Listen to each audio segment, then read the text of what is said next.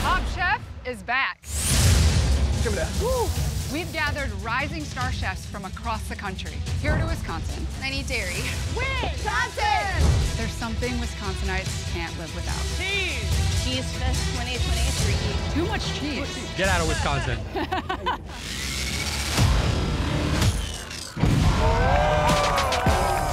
There are a few new rules. There'll be no immunity given for a Quickfire win. I love when shit gets shaken up.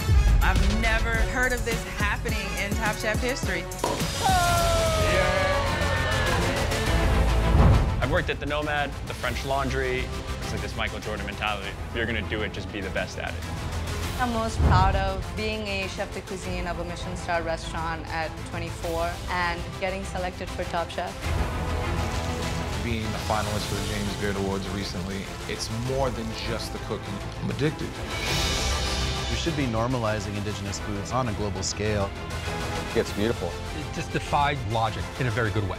There's heat, there's acidity, it's really fantastic. The level of cooking is up here. I want to eat both of these completely. No one take my plate. Is it a taco? Is it a mole? It's a tartar, tataki taco.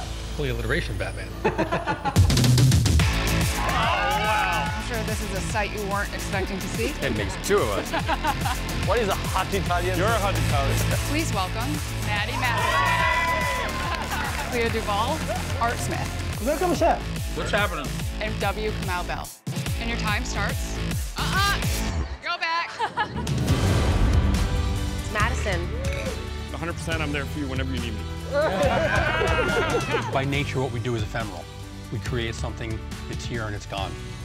But the experiences and the friendships that you made during the course of the season will last forever. It's really hard, man. I can't lie. Top Chef is more than a food competition. It's a mental competition. Oh, All the fear and anxiety is back. It's not refined enough. The fish is overcooked. You have got to start cooking to win. This isn't going to be easy. At the end of this, there's only one person left. You got to make sure it's you.